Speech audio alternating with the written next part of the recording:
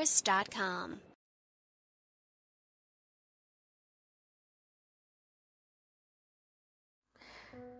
It has been a few months since after the war with the Pride Land at the Pride Lands with Zira.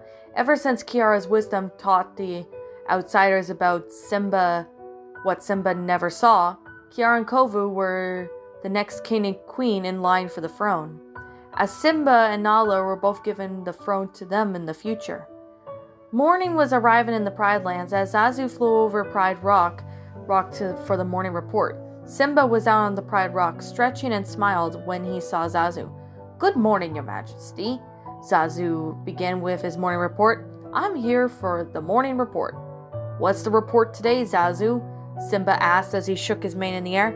Well, Simba, the zebras and the gazelles are finally sharing their land. Land, Zazu sighed. It was a riot yesterday when they were fighting over it. At least I was there to settle things, Simba replied as his mate, Nala, walked up to him and nudged him. Hey, Nala. He turned to see Nala hugging him. Morning, Simba, Nala said to her mate. The lionesses have gone hunting to bring back breakfast. Kiara and Vitani have gone with them. Kovu would like to speak to you when you have a minute. Okay, Nala, tell Kovu to come up here, Simba suggested as Nala nodded Nid and went back inside the Pride Rock him. Kovu?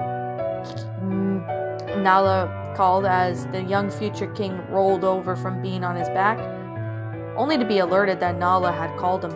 Simba says you could come outside to see him. Perfect, that'll be easier, Kovu replied as he walked outside the Pride to be with Simba on Pride Rock. You wanted to see me? Simba asked Kovu. To, he was making sure that there was nothing wrong with his son in law. Yes, I did, Kovu replied. And don't worry, nothing is wrong. Simba, so there's nothing to worry about. It's the Outlands. What's going to become of that land? Oh, that? Simba asked as he glanced over the Outlands in the distance. He then looked back at Kovu. It's going to be a long, very, very long time before it becomes part of the Pride Lands. That's because there's little to no life there. Ever since Kiara convinced the outsiders to be with us, things have been going good, Kovu replied as Timon and Pumbaa showed up. Hey guys, Simba greeted his childhood friends. What you doing? We've collected some grubs, Timon said replied as he munched on a worm. Kovu was grossed out by the fact that Timon and Pumbaa ate, eat bugs. Ew, Kovu said in disgust. You two eat bugs? Yep, we do, Timon said as he fed a worm to Pumbaa. You should give it a try shot, Kovu. It wouldn't hurt to try, Pumbaa added. It's good to try new things, Kovu. I didn't like them myself as a cub until I tried it. Simba reassured Kovu as the young prince took a beetle and stared at it. Has Kiara liked bugs? Kovu asked. Not really. It's fine if you don't like it. Simba replied as Kovu put the beetle in his mouth and began to chew. He, it did have, he did have a sour look on his face, but he enjoyed it. Kovu swallowed the beetle and realized that the food was good and what he was missing out on. Hey, it doesn't taste so bad, Kovu said in amazement. Just then, Kiara and Vitani, along with the other lionesses, showed up from their hunt. They had brought back a zebra carcass for everyone to chow down on. Simba was delighted to eat his breakfast.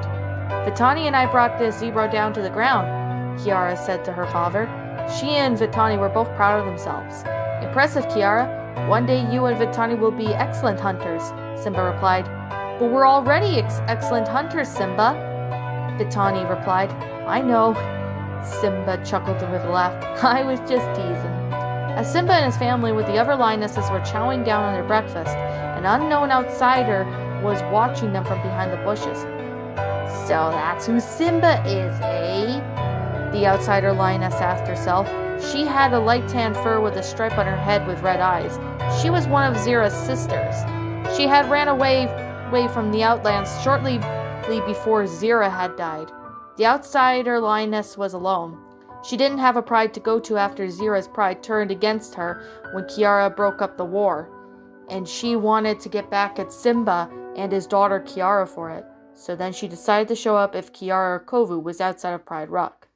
I'll get you for this, Kiara and Kovu, and you'll regret this. The outsider lioness then took off back into the outlands. When it was mid afternoon, Kovu was out on Pride Rock and he needed to ask Simba a question. So he uh, walked up to Simba, who was watching over Pride Lands.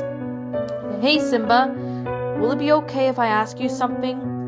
Kovu asked. I'm just not sure about something. But sure, Kovu, what's up?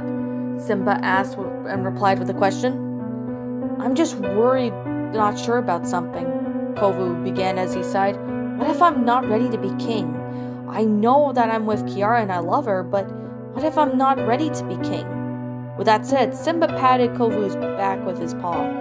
That time will come when you'll have to step up, Kovu, but I'm sure you'll do great as king, Simba replied.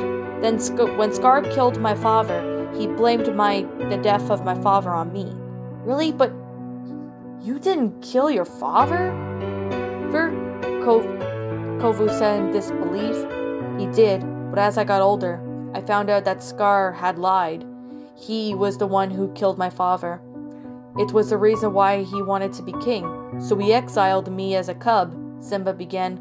Since I was exiled, Nala told me to go back to the Pride Lands and become king, but I had to challenge Scar and throw him off of the throne. You became king after Scar was defeated, and you didn't want to be king after that? Kovu asked. I was about to say no to that, but when my father told me to take his place as king, I knew I had to do it. And right now, I'm doing a great job as king, Simba told Kovu. When your time come, comes, me and Kiara will be taking over, right? Kovu asked, as Simba ruffled Kovu's mane. That's right, young prince, Simba said playfully as he and Kovu began to roughhouse. Kovu began tackling Simba playfully at this point, and he definitely needed a guy friend who could roughhouse with, which Simba was okay with that. Father? Kiara called as Simba got up, up to see that he, his daughter had called him. What's up, sweetheart? Simba asked. Zazu mentioned that the wildebeests are on a stampede. It's only on another side of the Pride Lands. Kiara warned Simba. You might want to go see what's going on, and please be careful. Zazu, take me to the stampede, Simba called out to Zazu as he and Simba both left on the mission. When Simba and Zazu left Pride Rock, Kiara walked up to her mate Kovu and sat beside him. The two lions looked around the Pride Lands. Kiara suddenly nuzzled un- Kovu under his mane as the young prince kissed Kiara's head. What's on your mind, Kovu? Kiara asked. Kiara, it's just. Kovu began, but trailed off. Kovu, if something is wrong, I need to know. Kiara replied. Ko- okay, Kovu began. I've just been having bad thoughts. Like, what if I'm not good at being king, and the choices I make, I just feel that that I don't think I'm ready to be king. Kovu explained to Kiara. Kovu, you'll become king once my dad passes on, Kiara replied, and I have a feeling that you'll do great as king. Just don't let the bad thoughts get to you. And what I would do is think of the positive sides. Like, one thing is, you'll have everything the light touches, Kiara reassured Kovu with a smile. I'll sure have to follow Simba's paw prints to, on being king. Thanks for the advice, Kiara, Kovu replied as he was walking down Pride Rock. Where are you off to? Kiara asked. I'm going to be on patrol. I'll let you know if I if something is wrong, Kovu replied as he left Pride Rock. Kiara turned to see her mother Nala sitting beside her. The young prince is worried about being king, King, the next king? Nala asked her daughter.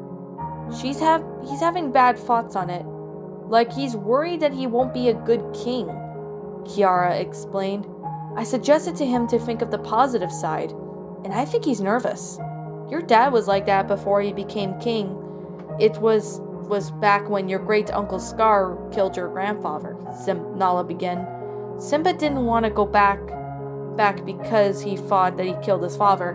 But the real truth is that Scar killed your grandfather. It was all because he wanted to be king, and he didn't want my dad to become the next king, Kiara added with the conversation with Nala. That's right, my dear. But Simba challenged Scar and took the throne, and look at him now. He's taking responsibility and he's enjoying being king. Nala replied, I'm sure Kovu will come around to the idea eventually, Kiara said to Nala. I have a feeling that he will, Nala reassured Kiara when Vitani walked up on Pride Rock. She looked to see that Kovu wasn't anywhere on Pride Rock, and she was looking for him. Hey, have you girls seen Kovu? Vitani asked Kiara and Nala. I haven't seen him since this morning. Do you know where he went? He told me he was going to be on patrol, Kiara replied. It's just, Vitani began with a sigh. I have, I have a bad feeling that something's out there. What do you mean by that, Vitani? Nala asked. She along with Kiara were both confused. Like, I, what I mean is, I just have a bad feeling that something bad is going to happen. Vitani replied. Vitani, we've been finished with Zira a few months ago, so I don't think anything else bad could happen. Maybe a lion trying to take over, we could bring it down, Kiara said as she was trying to cheer up her sister in law. I just sense someone's in this in the pride in the pride lands, and I gotta warn Kovu.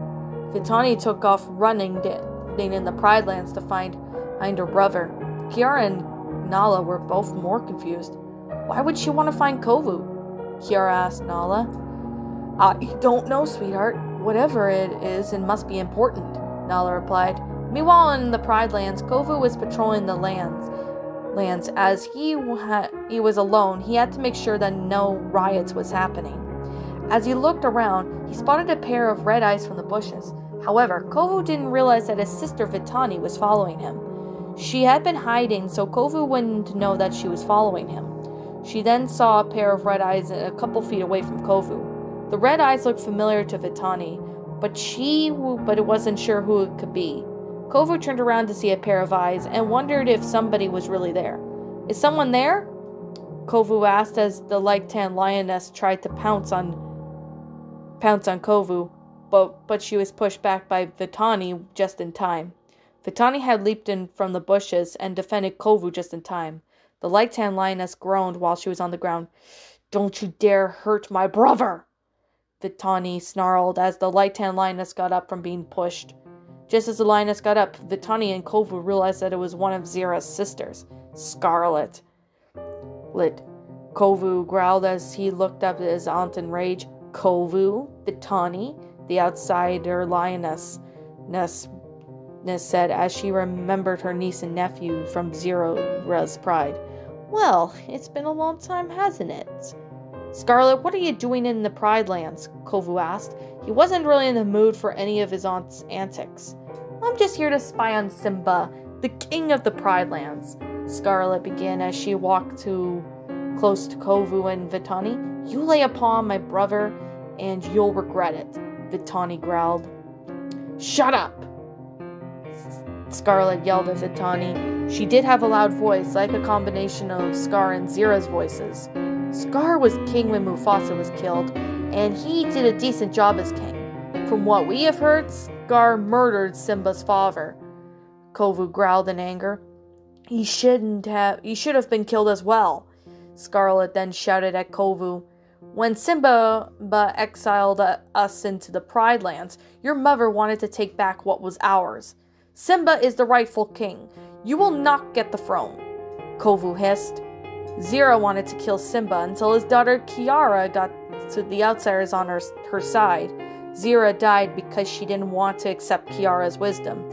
I then I went ran off since I couldn't save Zira in time. Scarlet snarled as as she walked around Vitani and Kovu in a circle. If Simba finds out about you, he is not going to be very friendly about it. Kovu warned Z- Scarlet. Very well, I'll get Simba for this, and your mate Kiara. Scarlet replied as Kovu roared at her. You lay upon her, and I promise I won't be so nice about it. Kovu said as Scarlet walked away until she was out of the Pride Lands. Now our aunt wants to kill Simba? Vitani asked in shock.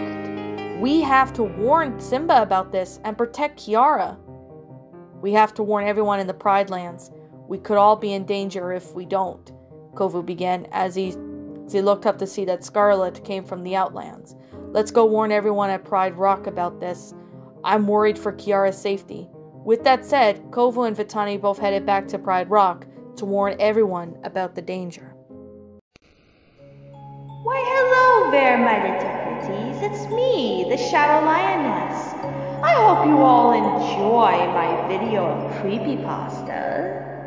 So, without further ado, if you liked the video, please leave a like, And if you want to survive my cave of terror, please hit the subscribe button down below. Leave a comment in the comment section down below. Donate to my Patreon when you can.